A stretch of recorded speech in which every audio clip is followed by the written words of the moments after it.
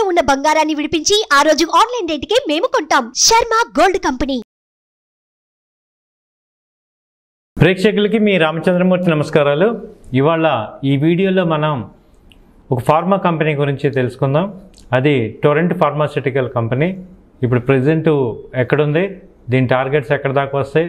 అలాగే దీని యొక్క ఇన్వెస్ట్మెంట్ టైం పీరియడ్ ఎంత? ఏంటి అనేది మనం డిస్కస్ చేసుకుందాం. ఈ టొరెంట్ ఫార్మాసిటికల్స్ వచ్చి ప్రజెంట్ పద్దెనిమిది వందల తొంభై ఉంది. నేను ఈ వీడియో చేసే టైంలో దీని యొక్క one week one month one year sorry one year high చూసుకుంటే రెండు వేల తొంభై నాలుగు ఉంది. అలాగే వన్ వన్ మంత్లో తీసుకుంటే వన్ ఇయర్లో తీసుకుంటే ఫోర్టీన్ హండ్రెడ్ దీని యొక్క ఫిఫ్టీ టూ వీక్లో అంటాం దీన్ని. అంటే ఈ ఇయర్ హై లో రేషియో వచ్చి చాలా గ్యాప్ వచ్చింది దాదాపు ఆరు వందల పాయింట్లు. అలాగే ఇప్పుడు ఎస్పెషల్గా ఈ సీజన్ అంతా కూడా రైనీ సీజను పర్టికులర్గా అందుకని ఎక్కువ ఫార్మా ఫార్మా కంపెనీస్ అన్నిటికీ కూడా మంచి గ్రోయింగ్ సీజన్ ఇది. సో ఈ టొరెంట్ ఫార్మా అనేది మనకి one of the leading pharmaceutical companies ఇండియాస్లో. ఇది కూడా నైంటీ కంప్ కంట్రీస్కి ఎక్స్పోర్ట్స్ పంపిస్తున్నాయి. సో ఇవి న్యూ డ్రగ్స్ కానీ మాలిక్యూల్స్ కానీ అవన్నీ కూడా మంచి కన్- ఉన్నాయి. లాస్ట్ ఫైవ్ ఇయర్స్ దీని యొక్క రెవెన్యూ టర్న్ మనం చూసుకుంటే ఇది రెండు వేల రెండు వేల పంతొమ్మిదిలో ఏడు వేల ఆరు వందల కోట్ల రెవెన్యూ జనరేట్ చేసింది. అలాగే రెండు వేల ఇరవైలో ఇది ఏడు వేల తొమ్మిది వందల కోట్ల రూపాయల రెవెన్యూ జనరేట్ చేసింది. రెండు వేల ఇరవై ఒకటిలో ఎనిమిది వేల కోట్ల రెవెన్యూ జనరేషన్ వచ్చింది. అలాగే రెండు వేల ఇరవై రెండు తీసుకుంటే eight thousand five hundred crores revenue వచ్చింది. అలాగే రెండు వేల ఇరవై మూడులో nine thousand six hundred twenty crores revenue generate చేసింది. ఇది ఇప్పుడు ప్రమోటర్స్ దీని యొక్క పార్టిసిపేషన్ చూసుకుంటే ప్రమోటర్స్ వాటా వచ్చి సెవెంటీ వన్ పర్సెంట్ ఉంది. అలాగే ఎఫ్ఐఎస్ ట్వెల్వ్ ట్వెల్వ్ శా పన్నెండు శాతం ఉన్నారు. డిఏఎస్ ఎనిమిది శాతం ఉన్నారు. పబ్లిక్ వచ్చి ఏడు పాయింట్ ఆరు శాతం ఉన్నారు. సో ప్లెడ్జింగ్ కూడా ఎఫ్ఐఎస్ ప్రమోటర్స్ ఎక్కడ ప్లెడ్జింగ్ లేదు. కాబట్టి ఇది ఒక మనకి మనకి ఫైనాన్షియల్గా కూడా మంచి ఇన్వెస్ట్మెంట్ కంపెనీ లాగా ఉంది. అలాగే ఇప్పుడు టెక్నికల్గా చూసుకుంటే దీని యొక్క టోటల్గా ఏ టైంలో ఎలా వచ్చింది అనేది దీని యొక్క రేంజ్ చూసుకుందాం. ఇది ఎగ్జాక్ట్గా ఎనిమిది ఎనిమిది రెండు వేల ఇరవై మూడు నాడు రెండు వేల ఎనభై ఏడు దాకా వచ్చింది.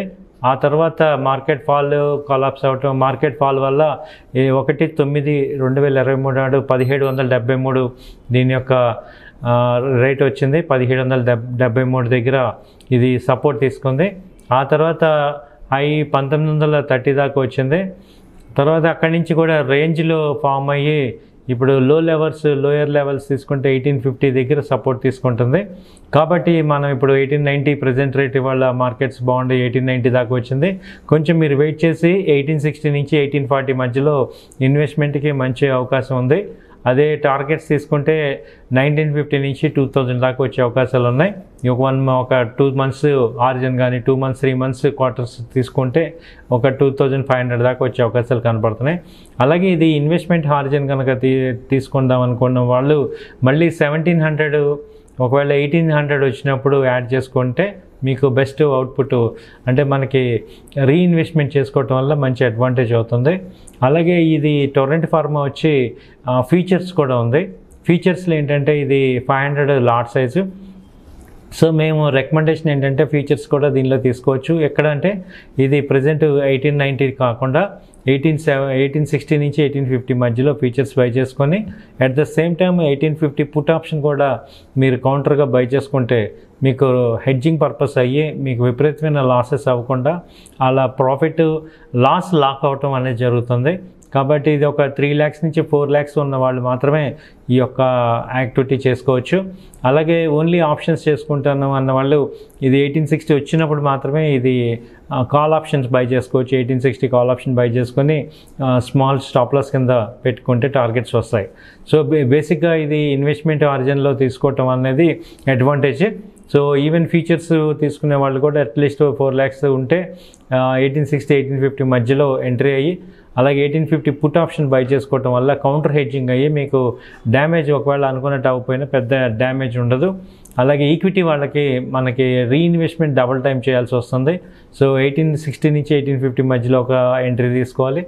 అలాగే ఎయిటీన్ ట్వంటీ ఎయిటీన్ హండ్రెడ్ మధ్యలో మళ్ళీ రీఇన్వెస్ట్మెంట్ చేయడం ద్వారా నైన్టీన్ ఫిఫ్టీ నుంచి టూ థౌజండ్ దాకా టార్గెట్స్ అనేవి మనం ఎక్స్ప రావచ్చు. విత్ ఇన్ ఒక three months horizon two months three months హార్జన్లో వచ్చే అవకాశాలు కనపడుతున్నాయి. ఇది పూర్తిగా నా వ్యక్తిగత అభిప్రాయం మాత్రమే. మీరు ఒకటికి రెండు సార్లు ఆలోచించుకొని డెసిషన్ తీసుకోవాల్సిందిగా కోరుచున్నాం. థ్యాంక్ యూ అండి. నమస్తే.